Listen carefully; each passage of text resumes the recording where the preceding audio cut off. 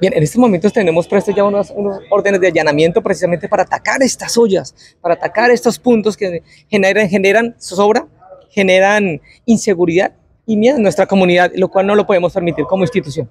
¿Siguen las recompensas, coronel, para los araucanos de bien? Total, total, 100% comprometidos y sí van a seguir las recompensas porque no podemos dejar que se nos incremente un delito cualquier, cualquiera que sea en nuestro departamento. Se hablaba de un tema de limpieza social que estaba ocurriendo dentro de la capital araucana. ¿Ustedes como autoridades qué le dicen a la comunidad? No, que se, que se sientan tranquilos que eso no está ocurriendo, eso no se está presentando, para eso están nuestras instituciones en todos sus niveles para controlar eso que se, si se llegase a presentar. Hasta el momento no hay información de ese tipo de actividades que se presenten en nuestro departamento. ¿Y las víctimas ocurrieron sobre el sector de la Comuna 1?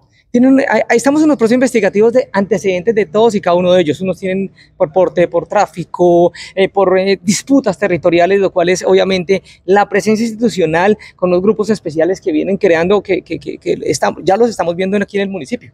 Entonces es para eso para evitar que se presenten esas disputas, porque al final lo que genera es un estigma en nuestra población, que no lo vamos a permitir como fuerza pública, en este caso como Policía Nacional. El alcalde habló del decomiso de unos fusiles y de una persona que estaba causando del orden público.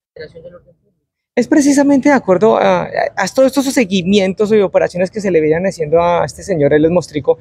En una de estas actividades se logró la incautación de un armamento, una munición, la cual era, pertenecía a este grupo delincuencial y con lo que atemorizaba a nuestra población.